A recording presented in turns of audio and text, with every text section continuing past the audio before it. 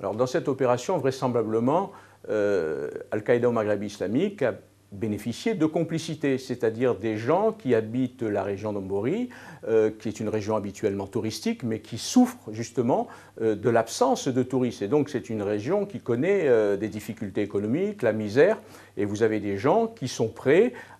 pour des raisons financières, à, dire, vendre des informations, voire des otages à Al-Qaïda au Maghreb islamique. Il est vraisemblable que ces deux Français, qui sont des géomètres et qui travaillaient depuis quelque temps, aient été parfaitement identifiés, euh, par euh, des, dire, des correspondants d'Al-Qaïda au Maghreb islamique, que euh, l'organisation savait qu'il y avait des Français et que la décision de les enlever a été prise de nuit parce que justement, la nuit, c'est beaucoup plus facile d'enlever les gens en connaissant leur emploi du temps, leur, leurs horaires, et ils étaient dans leur hôtel où ils rendaient compte de leurs activités. Et depuis à peu près 2003, l'organisation a collecté plusieurs dizaines de millions d'euros en enlevant des Français, des, des Italiens, euh, des, Suisses, des Allemands, euh, des Espagnols. Euh, les rançons ont été toutes payées, sauf les Anglais qui ont refusé et leur ressortissant a été exécuté. Il y a des Français qui sont enlevés parce que,